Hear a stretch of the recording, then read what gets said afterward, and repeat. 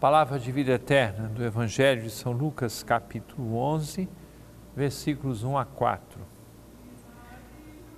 Um dia Jesus estava rezando num certo lugar.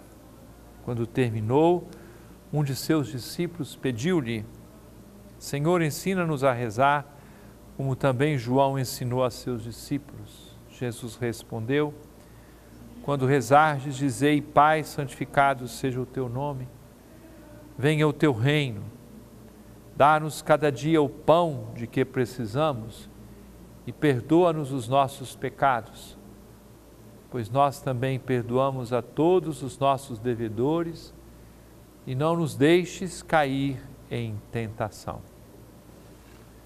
Caríssimo irmão, caríssima irmã, é preciso aprender a rezar.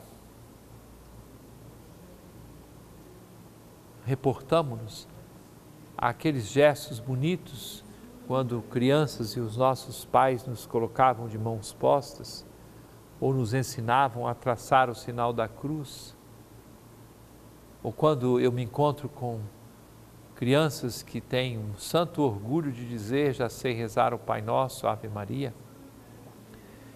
Mas nós todos independente da nossa idade, precisamos reaprender continuamente a rezar. Jesus rezava. A oração, em primeiro lugar, é a linguagem entre o Pai, o Filho e o Espírito Santo. Depois, ele nos ensina, chamando a Deus de Pai, abrindo-nos para a realidade do reino de Deus, dispondo-nos a cumprir a Sua vontade a santificar o nome de Deus. Ele nos ensina a rezar, abrindo-nos para a Sua providência que nos dá o pão de cada dia, comprometendo-nos com o perdão e dando-nos a certeza de que, para livrar-nos do mal, quem nos ajuda a superar a tentação é a ação amorosa do Pai do céu. Aprendamos de novo a rezar é palavra de vida eterna.